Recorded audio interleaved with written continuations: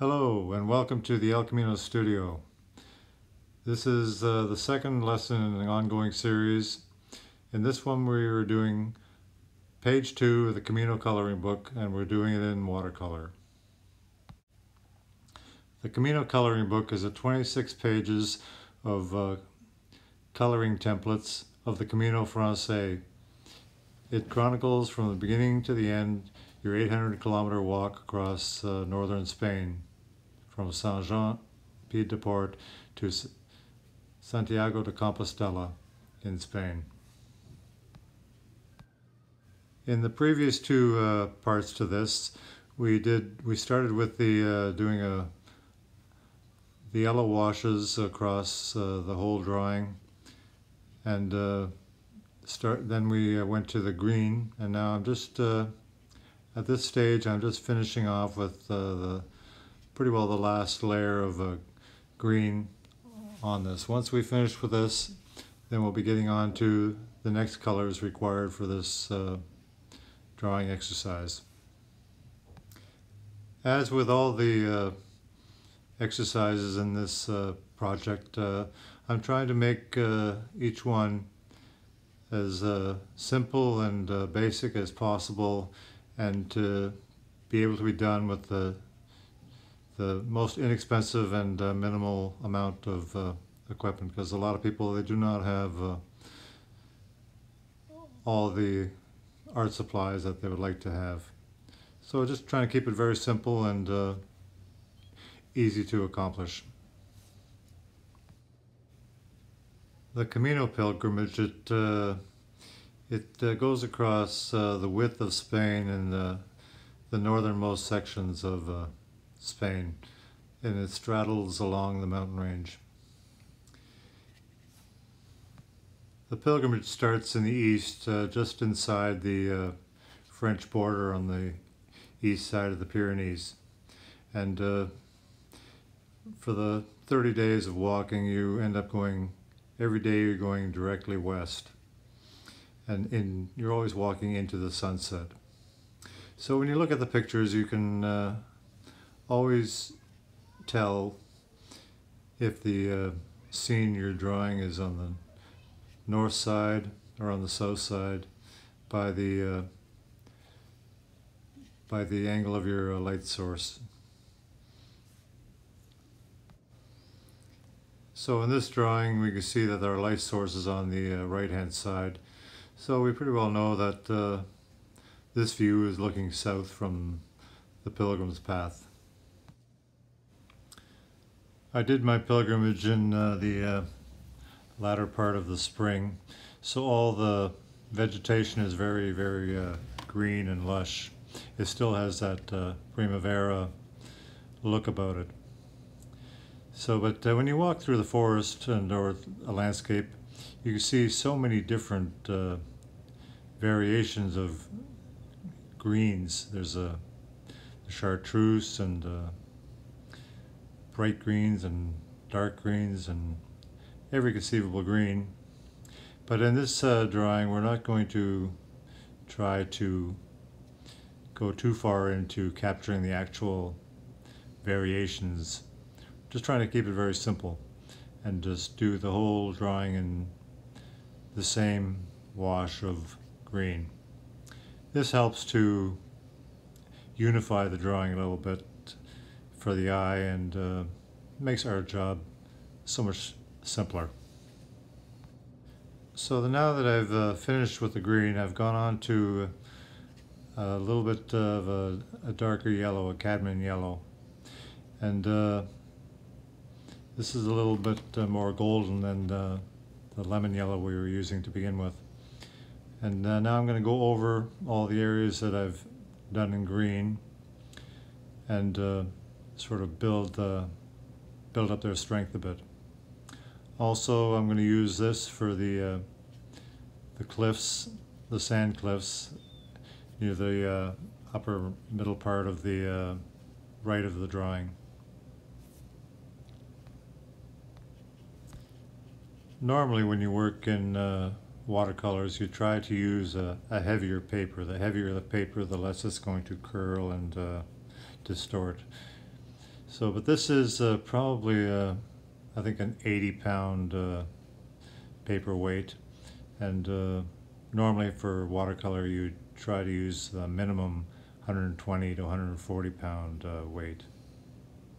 So the weight of the paper is, uh, rule of thumb is a, a cubic foot of paper would weigh 140 pounds or 80 pounds.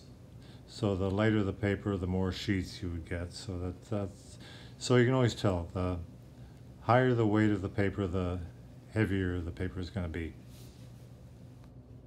In the last video, I uh, was talking about uh, my uh, brush stroke and uh, I try to, when I uh, load my uh, brush with the color, I try to do the, I was said I was trying to do the darker side of the tree first because uh, there's more saturation and uh, in the brush. And uh, the more I use the brush the the thinner and lighter the uh, saturation gets. So I tend to work from the dark side of the tree towards the light side of the tree. And the same thing I'm going to do with uh, the sand uh, cliffs here that I'm doing the darkest shadows first and with a drier brush ending up on the light side. I, uh, before I went to Spain, I never realized how much, uh, how much wine came from Spain. I grew up, we didn't have that uh, much exposure to Spanish wine. But uh, they're beautiful uh, landscapes to draw because the straight lines they give you they give you easy identifiable vanishing points and that uh, helps to make your mind understand what's going on in the landscape very easily.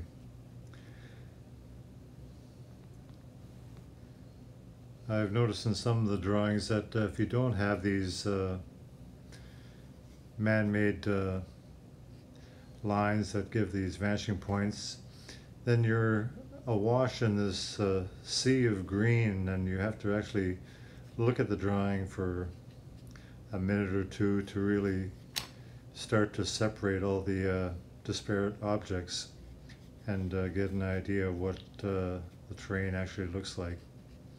So this makes these vanishing line, these lines say uh, make it very uh, simple and quick to understand.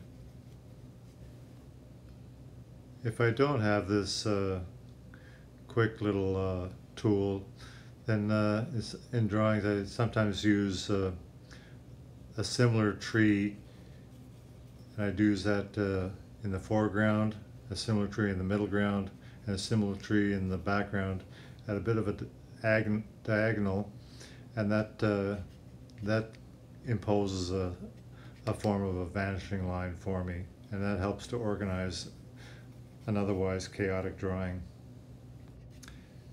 It's not just trees that, uh, or buildings that have uh, light and dark sides. The flat uh, landscape has undulations and high points and low points, and uh, here I'm uh, using a thinner wash of uh, yellow to sort of bring out these highs and lows.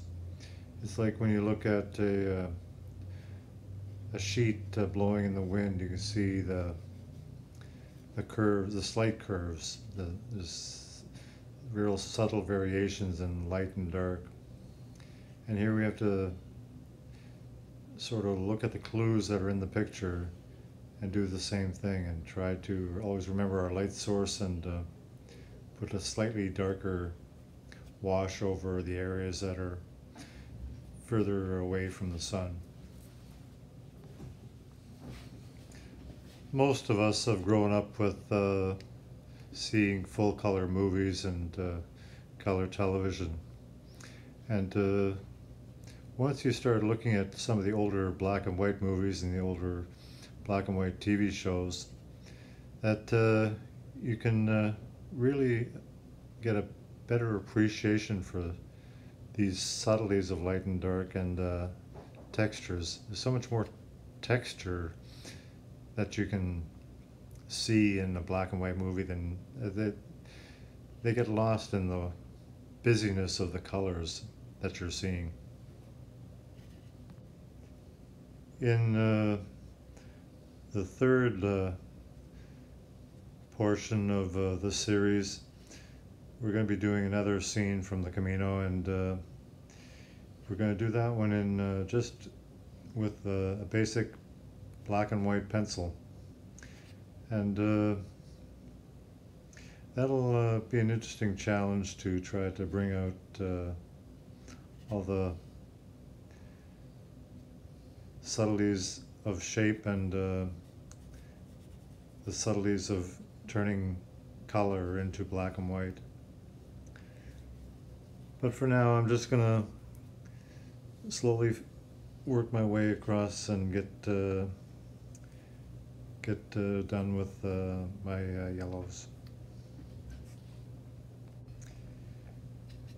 If you find that you have uh, oversaturated uh, a small area and you don't want it quite that strong, what you can do is with a, uh, a clean wet brush, just uh, moisten the area that uh, you want to correct.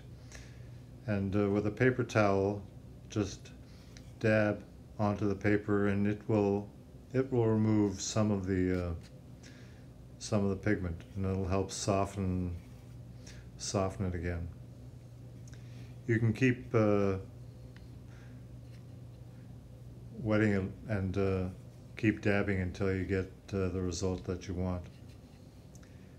This uh, really doesn't uh, damage the paper in any way. If it's just a very small area, what you also can do is just uh, get a wet clean brush and uh, dissolve the little area and start spreading it around a little bit and, until it's diffused into the surrounding portion. You have to be a little bit more careful with this because uh, the brush does tend to tear at a microscopic level at the paper. So this one you have to be very gentle with. So it's, it's always a good idea to start uh, light and go back and uh, work on it again because uh, the paper is very easy to be damaged. And once it's damaged, then when uh, it doesn't have the same absorption as uh, surrounding and you'll have dark blotches and it, it's always better to work light and uh, than trying to repair something repairing is always three, four times as much work as uh, as the actual painting itself. Okay, we're getting close to the end of this uh, third part, uh, so I'm just going to slowly wrap it up with uh, the yellow. Don't be afraid to uh, stop and move on to something else because you we're using uh, very basic colors, so you can always come back and add to it. So that's it for this one. I hope you hope you you uh, watched the last completion of this drawing, and uh, I hope you enjoyed it. And we'll see you on the next one.